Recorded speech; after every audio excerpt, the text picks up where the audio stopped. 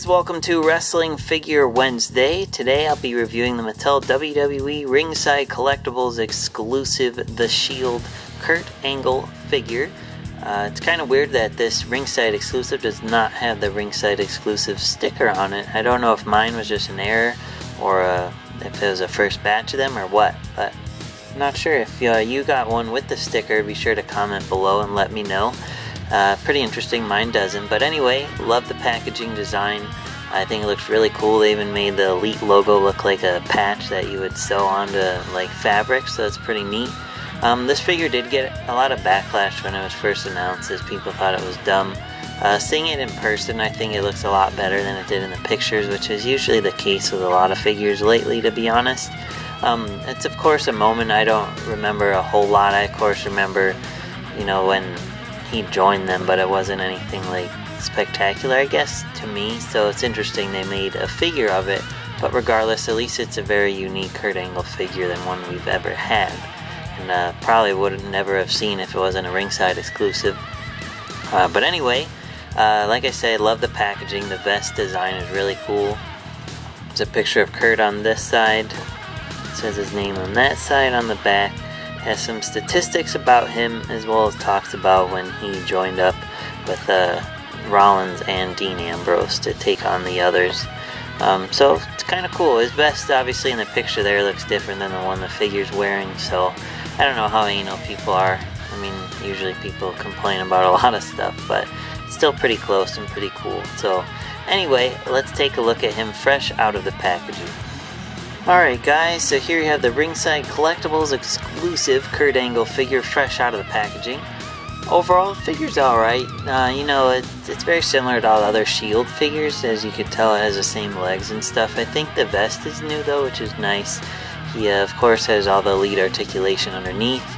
And uh, my favorite part about it really is probably the tape and stuff on his hands, as I think it was a nice detail they added. There's actually black and then there's like a dark gray on it. So, you know, it's just a nice little bonus detail. I thought it was all black until I really looked at it up close. So that's a little extra detail they did with it. And uh, it's still the same head scan, I believe, from his general manager basic that came out not long ago. Uh, but what's really interesting is he comes with the old barricade. It's from Roman Reigns' uh, first elite figure, I believe, actually, where you could spear a guy through it and it breaks or whatever. So if you don't have like the barricades behind it there, um, which I highly recommend, those are also on ringside. Those are to scale, but this one isn't. As you can see, Kurt's way too tall for it. He can't even like place his hands at a normal height on it. So I don't know. Not a fan of that accessory. But they used it just because he came over the barrier, I believe, if I'm not mistaken. Uh, but besides that, the figure's not bad. Like I said, the vest is nice. His head scan's the same as his other one. I mean, it looks like him. He's smiling and everything because he's so happy to be a part of the Shield for that moment. And like I said, the vest looks really nice.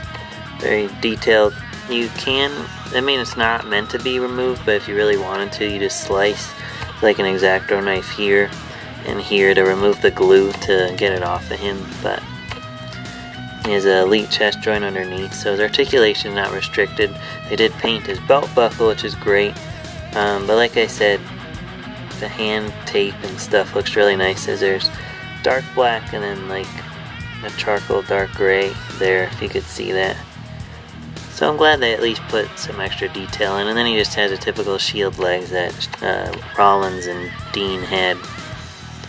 I'm sure Roman had these legs too, to be honest. But and you can see the detail in the pant legs with the pockets and cargo look sort of thing. Um, but yeah, I mean it's it's an okay exclusive. It's not my favorite one. Recently, I much prefer the Matt Hardy that uh, just came out around the same time. So check out my review of that one as well.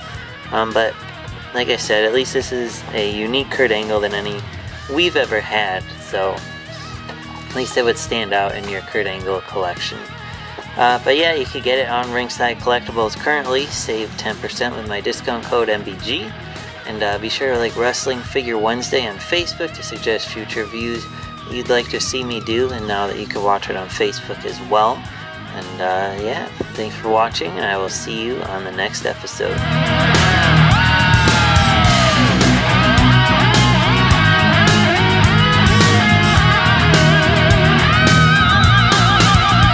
Like this video? Be sure to like, comment, and subscribe for more. And check out my latest videos. For all your wrestling figure needs, check out ringsidecollectibles.com.